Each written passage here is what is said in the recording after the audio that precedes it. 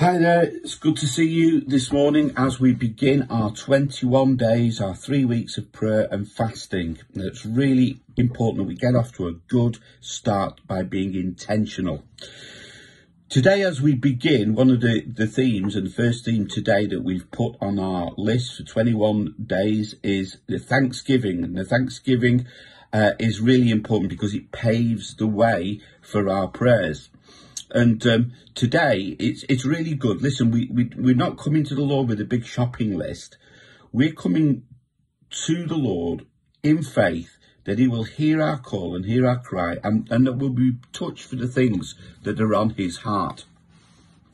Today, uh, I want to just to also underline the fact that yesterday was my keynote message and I spoke on Acts chapter 1 verse 8. The word God gave me for our church family for the whole of this year was the word uh, dunamis. Now, when I was seeking the Lord for a word, I expected him to draw me to a scripture and draw me to a text, but it didn't. It was that one word that the Lord kept dropping into my spirit. And so the, the, the, the, the most uh, notable verse of that for me was Acts chapter 1 verse 8 for you shall receive power you shall receive dunamis after the holy spirit has come upon you and you shall be my witnesses in jerusalem samaria judea the uttermost parts of the earth. Dunamis is the power of god to do the miraculous and we heard yesterday about how um, a woman reached out and touched Jesus and he perceived that dunamis had gone from her from him to her and that she had had the the, the, the problem with the, the woman that was losing the blood, the blood flow, the woman with issue of blood, as she's called, her life was literally ebbing away day by day, day by day, year by year.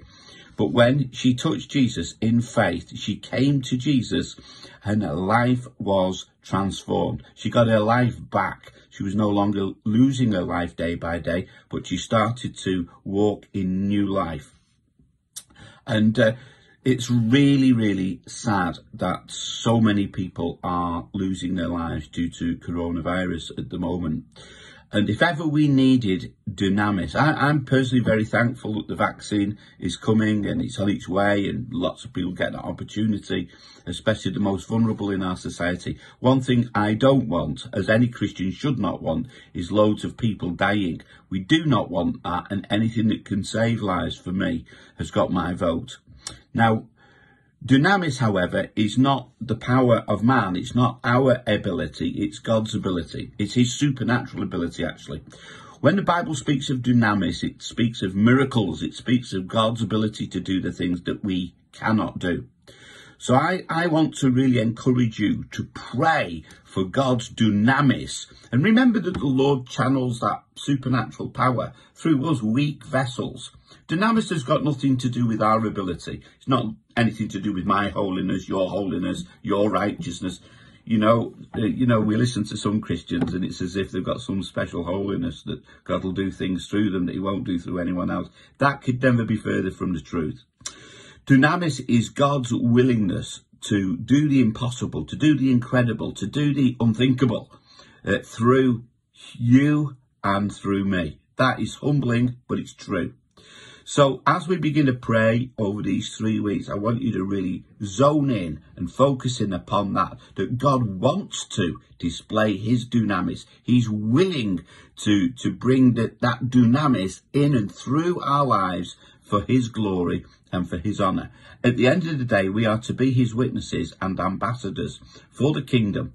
And so this three weeks, please, please, please pray with us, interact with us, feedback. Don't just be out there on your own. One person on their own can't do much, but together we're not only a family, we're an army that's praying in Jesus' name. God bless you today as we start this and we'll speak again soon.